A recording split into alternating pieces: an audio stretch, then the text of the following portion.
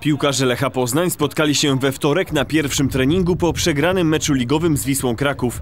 Zajęcia poprzedziła długa analiza spotkania z Białą Gwiazdą. To efekt zbyt wielu błędów, jakie przytrafiły się zespołowi, które trzeba wyeliminować przed czwartkowym starciem w Lidze Europejskiej.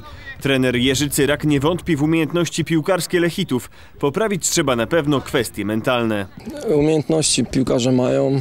Tutaj nie ma piłkarzy, którzy nie potrafią grać. Tu są momenty tylko takie czasem, kiedy nie dają, te właśnie głowy nie dają wszystkiego, co powinny dać. E, Musimy po prostu wyjść z zamiarem zwycięstwa, pokazać właśnie te swoje najlepsze strony i to wystarczy do tego, żeby wygrać.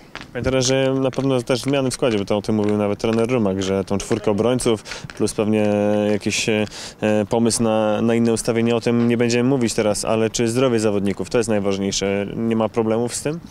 Ze zdrowiem nie ma problemu, wszyscy są gotowi do gry i w czwartek wystąpią piłkarze, ci, którzy będą również w najlepszej dyspozycji fizycznej i, i, i tacy, którzy dadzą nam zwycięstwo. Dzisiaj długo rozmawialiście, analizowaliście ten mecz z Wisłą.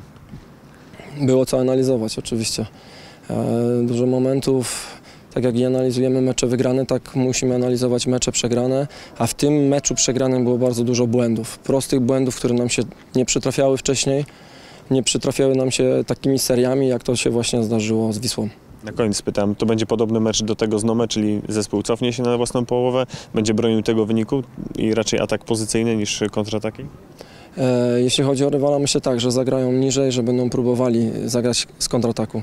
E, Tak jak i grali u siebie też na swoim boisku, to nie było granie jakieś wysokie, to my musieliśmy mm, konstruować, to my byliśmy więcej przy piłce i tych e, sytuacji, akcji ofensywnych mieliśmy więcej. Tak pewnie będzie tutaj, tylko musimy być o wiele bardziej skuteczni, o wiele bardziej precyzyjni i bardziej zdeterminowani.